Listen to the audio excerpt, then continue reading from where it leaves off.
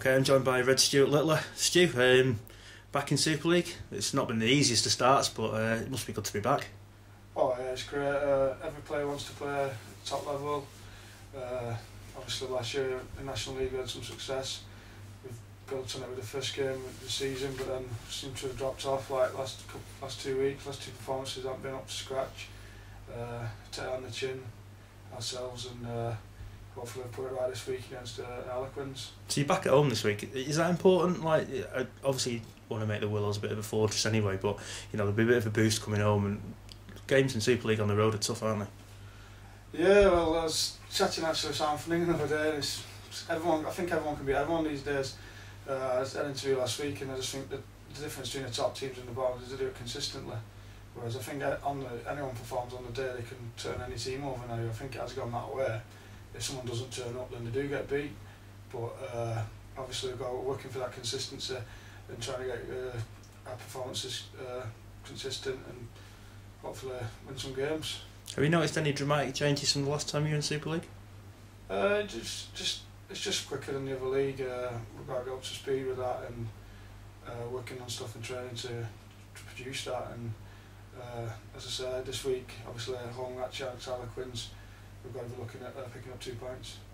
You yourself now, you've uh, I think you've played 135 games, I think consecutively, which is uh, pushing on like a club record. Really, I mean, that's a phenomenal achievement for for anybody, really. But I mean, you, you've seen off players over the years who've come in and everything like, and then this year now you're going into a testimonial in May.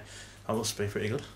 Oh yeah, uh, the testimonial granted, and that's great. Uh, obviously, uh, uh, I've worked hard over the years, and uh, it's come to fruition, fruition there with that. Uh, stayed at the club, but I don't see any point to uh, leave somewhere if you're happy, and I've always been happy with everyone, and I've got on with everybody, on the team, and people behind the scenes, and I've made a lot of friends over the years, and uh, I take them into later life as well, like when, when I'm past playing rugby and stuff, uh, you get friends who, who for life.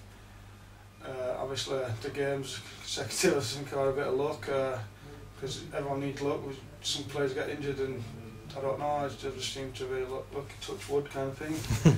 uh, hope it continues and uh, just pick our form up from last week because last week I was disappointed with um, myself. So when, um, just go back to testimony, when do you think you'll be going to be starting announcing events and stuff? Uh, we're planning now because uh, it's just been granted by Rugby League, so I'm hoping it started in May, with the first dinner being May 15th and opening dinner. And then we'll sit down with the testimony committee and uh, sort out the other dues from then. But uh, hopefully it's Friday the 15th of May. Uh, hopefully a lot of people can come from the fans and uh, I'd just like to thank them all uh, for what they've done for me over the years. Cheers, Stu. Thanks for your time. Good luck on Friday. Cheers, mate. Thanks a lot.